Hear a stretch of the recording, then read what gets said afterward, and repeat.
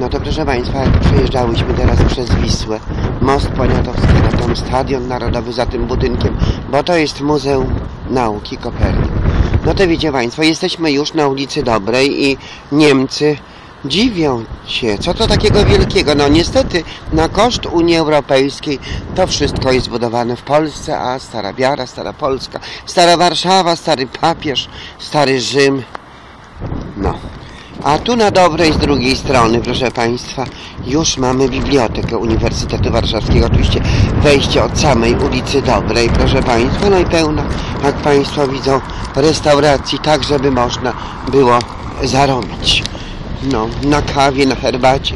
Także proszę Państwa, dobra i tam słychać od krakowskiego przedmieścia, gdzie tak dużo, a to lizą ci żebracy, a, a to dzisiaj wrzeszczą, no, a to dzisiaj wrzeszczą, domagają się, bo to widzicie Państwo, jedni i drudzy i ci, którzy mieli za mało, bo mówimy, że tu dwa tysiące miał, no to jeszcze mu dołożyć dwa tysiące, że chce, że więcej, że chce, dać mu, dać mu, dać mu.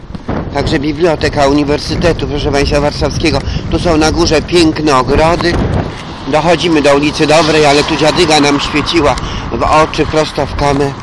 Także proszę Państwa, tutaj po prawej stronie nasz budynek y, BUW, Biblioteki Uniwersytetu Warszawskiego, a po lewej tutaj no to te stare trupy są, które są restauro, odrestaurowywane, od, odmładzane, no niech tam będzie. Także proszę Państwa, tam z krakowskiego przedmieścia, gdzie jest Pałac Kazimierzowski, dobiega do nas wrzask, krzyk moherowych beretów.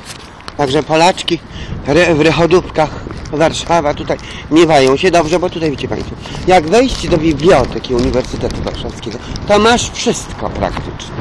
O, z tamtej strony dzisiaj nie jadę. Tam jest też i 118 i wszystko. O, tutaj z tej strony przyjechałem. O, a tu jest po drugiej stronie lingwistyka, germanistyka. Niemców spotkałam dwóch w autobusie, tak się gapili. A tutaj jest też ten nasz Bóg właśnie, do którego dzisiaj jadę, bo chcę skorzystać, czyli Warszawa po Wiśle.